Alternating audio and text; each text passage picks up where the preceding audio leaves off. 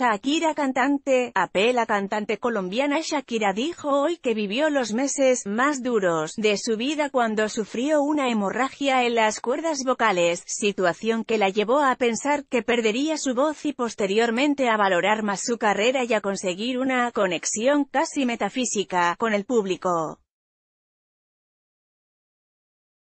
Lee también, el baile prohibido de Diana de Gales que hizo enfurecer a la monarquía. Lee también, como ver los estados de WhatsApp sin dejar rastro la intérprete de La bicicleta y chantaje, reflexionó sobre esa situación de salud durante la conferencia de prensa que entregó en su natal Barranquilla antes de participar en la inauguración de los vigésimo terceros Juegos Centroamericanos y del Caribe en el Estadio Metropolitano Roberto Meléndez, fueron los meses más duros de mi vida.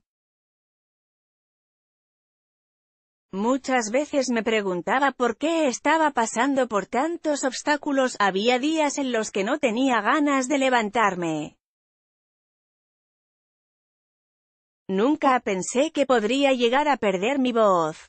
Pensé que llegaría a perder muchas otras cosas en la vida, pero nunca mi voz. Cuando me encontré en esa situación, fueron los días más difíciles, confesó conmovida.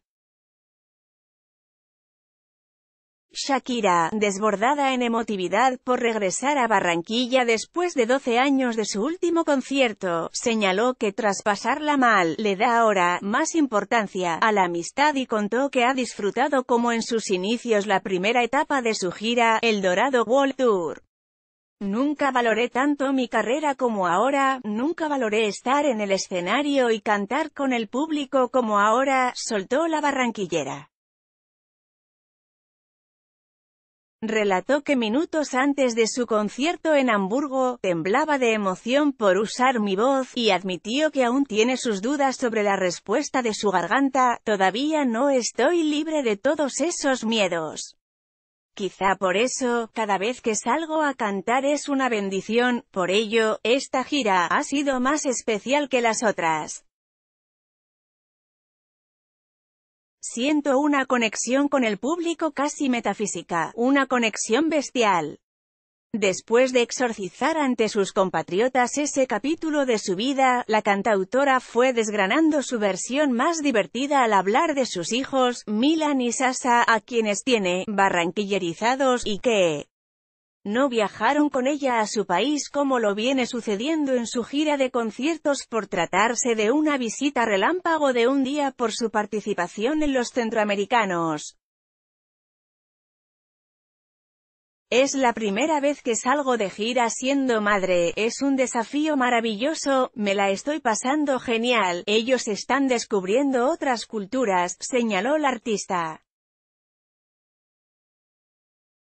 Shakira mencionó a su pareja, el futbolista español Gerard Piqué, cuando fue interrogada sobre lo que mejor hace en su vida, y ella se libró de la respuesta con picardía al señalar entre risas, eso hay que preguntárselo al marido. A partir de ahí, habló de la feliz coincidencia de estar ligada con su música a los eventos deportivos después de su participación en los Mundiales de Alemania 2006, Sudáfrica 2010 y Brasil 2014 con sus éxitos Hips Don't Lie, Waka y La La La. Ahora, en alusión a su presentación en los centroamericanos, se declaró feliz y orgullosa de que su ciudad natal albergue desde este jueves y hasta el 3 de agosto las competencias, que este evento suceda en Barranquilla es un gran orgullo.